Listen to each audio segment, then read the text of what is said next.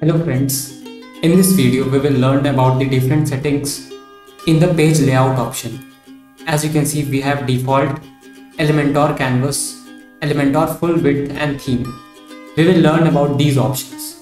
So before we begin I want to show you something. So we have all the pages listed here.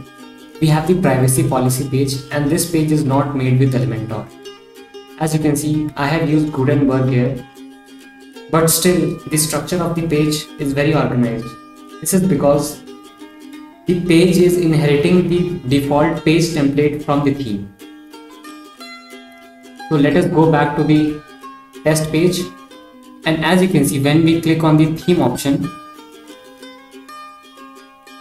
the default page template is used for the page and the default page template for our theme is created using Elementor Pro.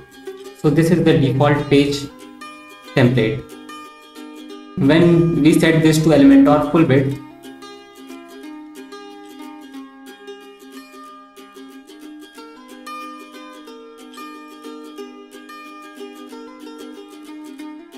as you can see, when we use the page layout as full width, this template includes the header, full width content and the footer. So in this template, we will have the page header and the footer and the page content. And when we change this to Elementor canvas, we will not have any header or footer. We will have a just Elementor to edit the page. So, and when we use the default setting, as you can see in the default mode, the template is same as that of the theme themes template. This is because when we go to the hamburger menu and go to the site settings,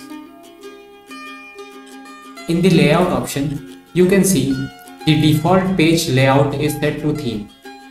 That is why